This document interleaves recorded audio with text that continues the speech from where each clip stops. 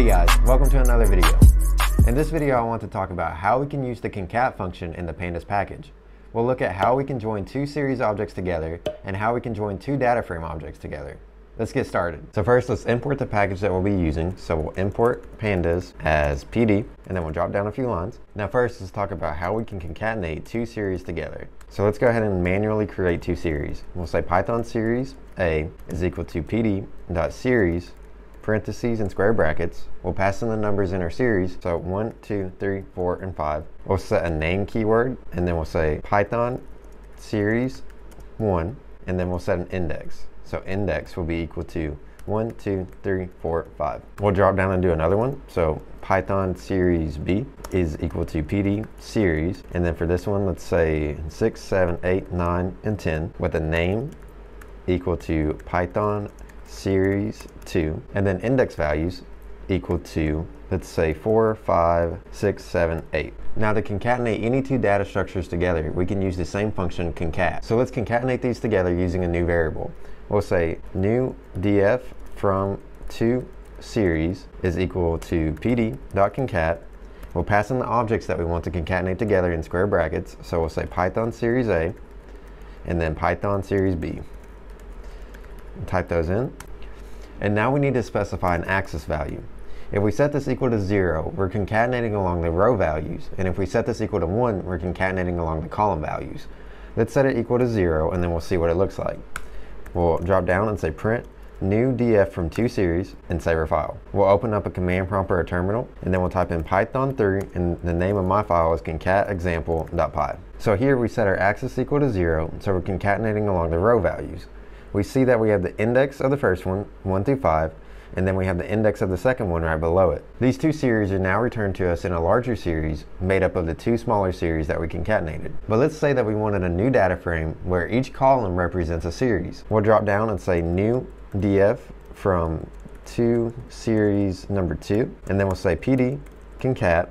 We'll actually go up and copy this and drop it down and paste it and we'll change the axis value to 1. Now we're concatenating along the columns of each of the series.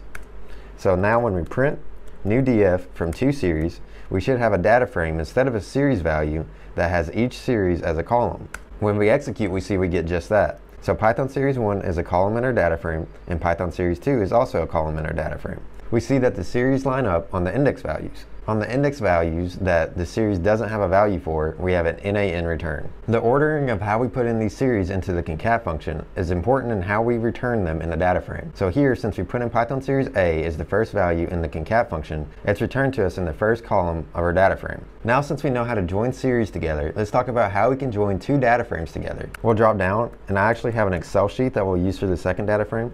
So Excel data frame will be equal to pd.read Excel and then the file path is workbook.xlsx. Now when we print Excel data frame, we'll look at this data frame. We'll go down and execute our file. Now from our Excel file, we see that we have three columns, each with five values in it, and they're just letters. So let's see how we can join this Excel data frame to the new data frame that we just created. So we'll create a new variable, new df from two dfs, and we'll say pd.concat the same way that we did before, and then we'll pass in the objects of the things that we want to concatenate. So we'll say Excel df, and then new data frame from 2 series 2.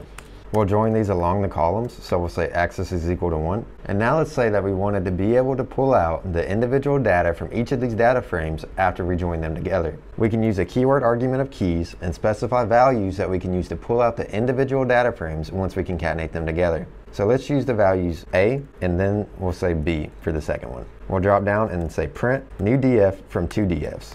We'll execute your file, and we see that we've joined the data frames together successfully. We also see that using the keyword argument of keys, we've created a multi-index data frame.